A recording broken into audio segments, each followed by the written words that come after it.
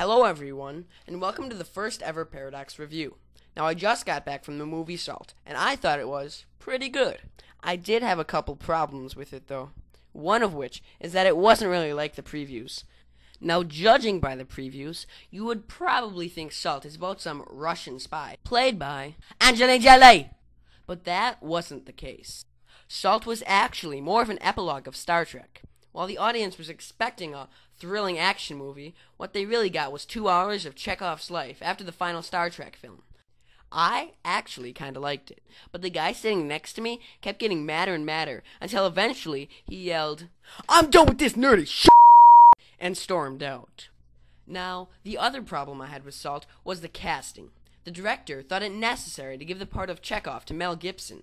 There were also some surprise appearances Sandra Bullock and Uma Thurman. And get this Angelina Jolie wasn't even in the movie.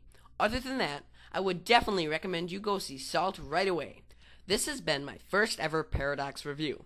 Hope you found it useful. Bye now.